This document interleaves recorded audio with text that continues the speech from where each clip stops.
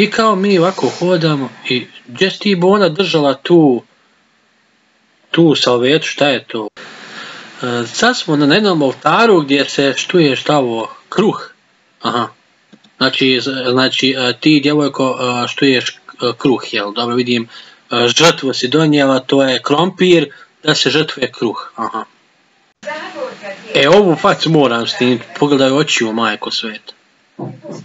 Halo, djevojka, jesi ti sva svoja? Wow.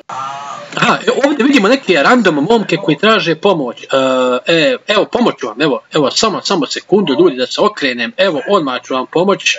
Sad ću mi to pomoć. Evo, mogu vas gurnuti, evo, to je to, jel?